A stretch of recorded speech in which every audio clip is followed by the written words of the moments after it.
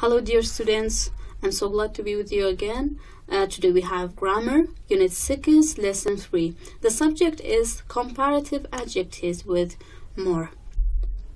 Uh, in the previous lessons, we talked about how to uh, form a comparative adjective by uh, ER. And this time we make comparative adjectives with more. Comparative adjectives are used to compare two things or two people. We use more to form comparative adjectives for, from long adjectives. We use the word than after the adjectives. If the word, the adjectives, is, is a long adjective, more than uh, two syllables, we add uh, we form the comparative adjective by adding more, not by adding er. Look at the examples. Expensive, more expensive. Expensive is uh, the adjective, and we add more before the adjective to make it a comparative adjective. Expensive, more more expensive. Sorry. iPhone is more expensive than Nokia. So we have the comparative adjective more expensive and we add the word than after the adjective in a sentence. Look at these examples. Beautiful, more beautiful. Colorful, more colorful. Difficult, more difficult. Exciting, more exciting. Interesting, more interesting. Unusual, more unusual.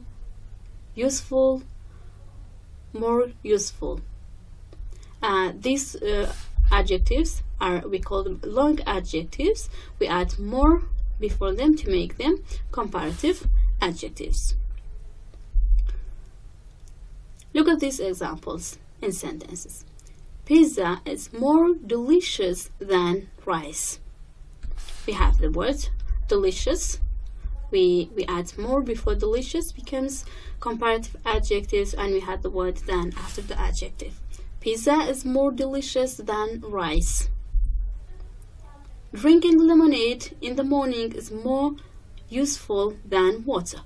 Again, we have uh, useful, the adjective, we, we add more before the adjective to become an uh, comparative adjective, and uh, we have the word than after the adjective. Reading a book is more interesting than listening to songs.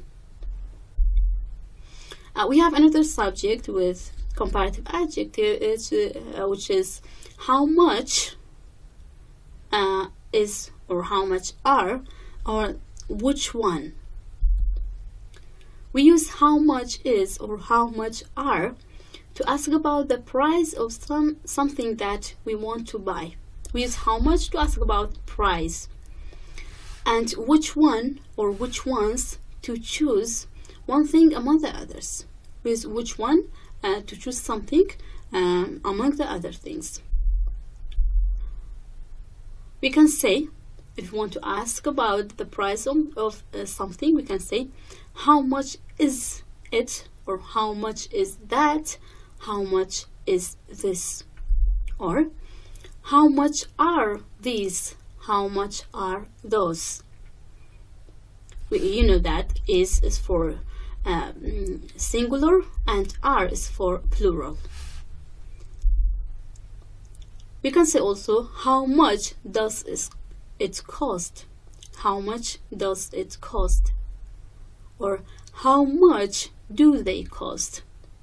We can ask by these uh, in, by these four ways to ask about the, the price of something. Look at this examples we have four scarves here. How much is this scarf? You are asking about one scarf. How much is this scarf? Which one? Which one? Uh, we use which one to choose some one of them between the others. The black one.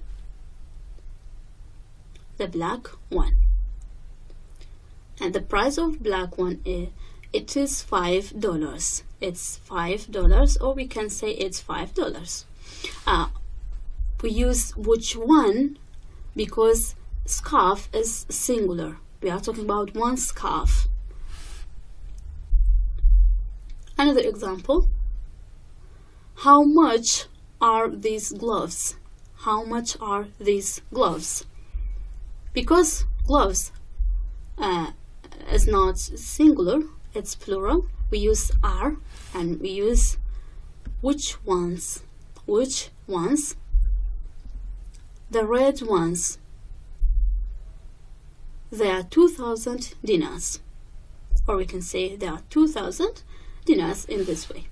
So because it's plural we use here uh, are and which ones not which one and we use they are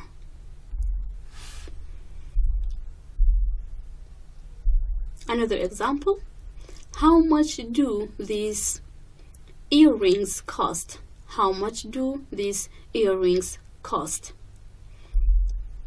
Which ones? The small ones.